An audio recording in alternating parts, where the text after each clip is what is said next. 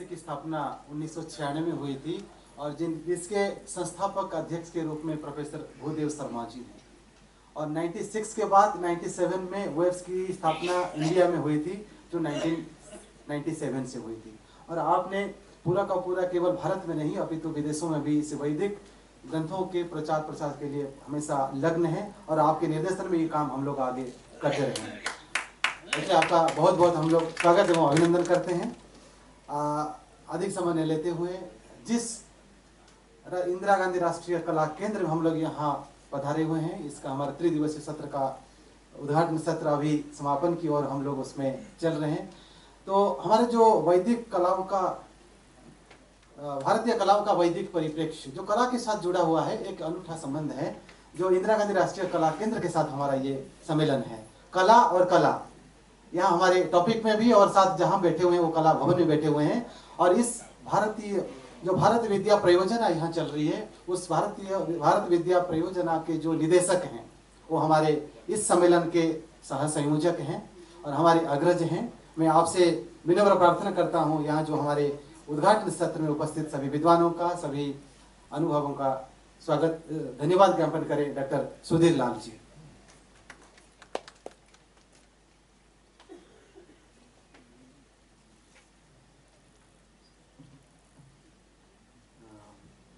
धन्यवाद आप सबको नमस्कार। मंच पर आसीन श्रद्धे doctor Ashok Pradhan, professor S R Bhatt doctor Bastola, professor Bhudev Sharma, professor Shashi Tiwari प्रिय अनुज, डॉक्टर रंजीत बेहरा और मेरे सामने विद्यमान प्रोफेसर वेदपति वैदिक डॉक्टर अपर्णा धीर और अन्य गण्यमान्य विदुषी एवं विद्वत्गण ये मेरे लिए एक भावपूर्ण क्षण है, क्योंकि मेरे दो प्राध्यापक, प्रोफेसर शशि तिवारी जी और प्रोफेसर वेदवती जी, मेरे मार्गदर्शन हेतु यहाँ उपस्थित हैं। मैं आपको प्रणाम करता हूँ। मैं इन दो महान अध्यापकों का एक बहुत नालायक शिष्य हूँ। यही मेरा परिचय है। पिछले दो दशक से भी अधिक समय से मैं इंदिरा गांधी राष्ट्रीय कला केंद्र से संबद्ध हूँ, यहाँ कार्य कर रहा हूँ। और दो छोटी छोटी बातें आपसे शेयर करना चाहता हूँ। प्रोफेसर भट्ट ने जो वैदुष्यपूर्ण वक्तव्य दिया, इसकी एक बहुत सुंदर और मेरी फेवरेट कहानी विष्णु धर्मोत्तर पुराण में उल्लिखित है। मुझे लगता है आप सब लोग शायद उसको जानते होंगे, इसलिए मैं बहुत संक्षेप में उसका ज़िक्र करना चाहता हूँ। मार्कंडे वज्र संवाद। मार्कंडे के पास जाते हैं वज्र और बोलते हैं कि मैं एक मूर्ति बनाना चाहता हूँ, एक ऐसा सुंदर मंदिर बनाना चाहता हूँ, उसमें ऐसी मूर्ति हो जिससे मैं पूजा करके और श्रेयस को प्राप्त कर सकूँ।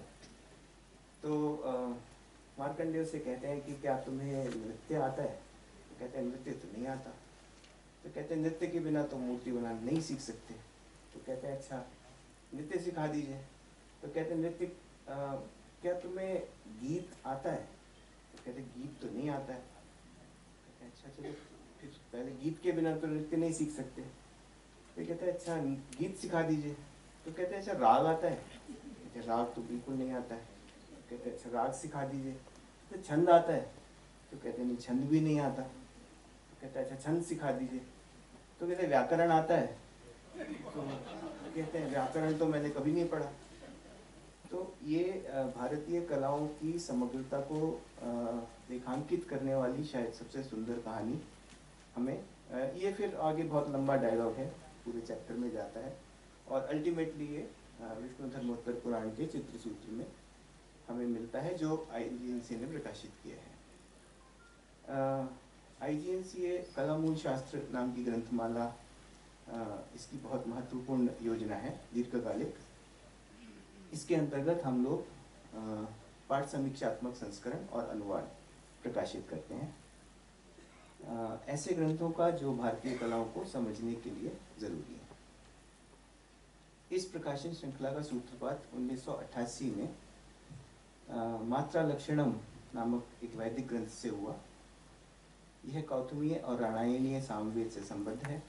और मात्रा पर विमर्श करने वाला शायद सबसे पहला उपलब्ध ग्रंथ है। ध्यातव्य है कि उच्चारण का दैर्घ्य, स्वर, यति और गति निर्धारित करने में मात्रा का महत्व अन्यतम है। कहीं इसी दृष्टि से यह संकल्पना एक और शिक्षा शास्त्र दूसरी ओर भाषा विज्ञान और कहीं छंद शास्त्र के मूल में दिखाई देती है। साथ ही इस केंद्र ने पुष्प सूत्र नामक सामवेदीय प्रातिशाख्य कारणविशद पद ब्राह्मण लाट्यायन और बौधायन के प्रणीत श्रोत सूत्र बहुत दुर्लभ ऋग्वेदीय शांखायन शाखा का रुद्राध्याय तथा आश्वलायन शाखीय पाद पाठ पद पाठ युता ऋग्वेदीय संहिता का भी दो खंडों में प्रकाशन किया है। इंदिरा गांधी राष्ट्रीय कला केंद्र ने विभिन्न वैदिक उच्चारण शाखाओं के तीन सौ से भी अधिक घंटों का ऑडियो विजुअल प्रलेखन किया है। साथ ही हमने तमिलनाडु, कर्नाटक, आंध्र एवं केरल में याग में प्रयोग होने वाले विभिन्न आयुधों का विधिवत वैज्ञानिक प्रलेखन किया है। इसकी एक छोटी सी झलक आप हमारी पाँच नंबर बिल्डिंग में एक वैदिक गैलरी अभी हाल ही में हमने इनाग्रेट की है। वहाँ पर आप देख सकते हैं।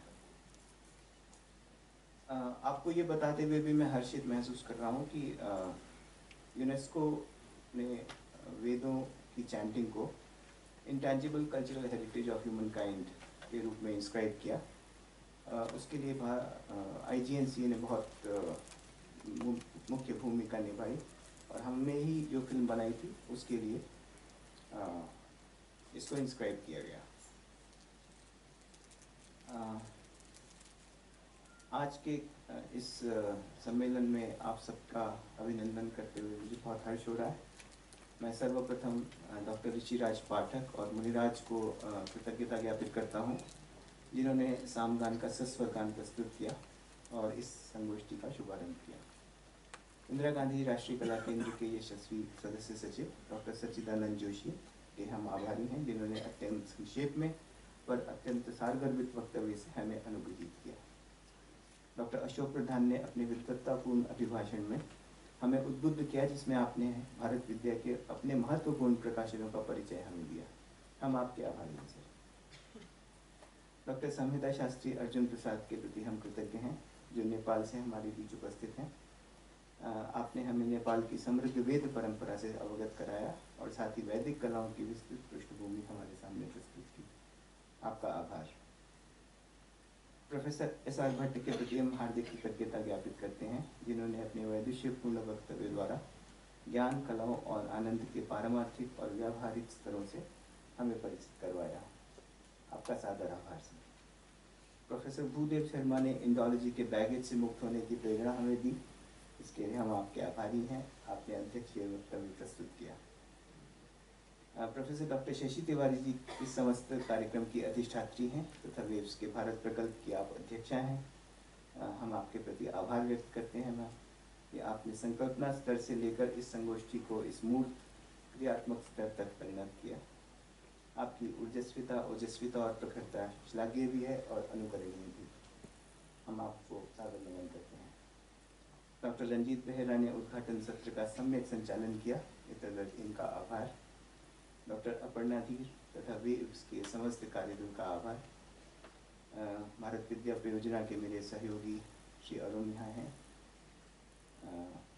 तथा इंदिरा गांधी राष्ट्रीय कला केंद्र के सूत्रधार एवं मीडिया सेंटर की टीम्स का मैं आभार व्यक्त करता हूँ।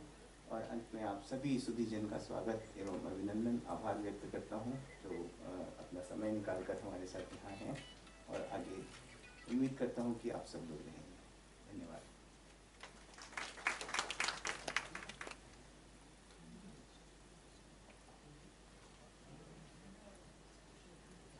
धन्यवाद ज्ञापन के लिए भी धन्यवाद। इस समापन सत्र का यही समाप्त होता है। और मैं दो सूचनाएँ आप लोगों के साथ शेयर करना चाहूँगा। तो जस्ट साढ़े बारह बजे इस सभागार में हमारा प्लेनरी सेशन रहेगा।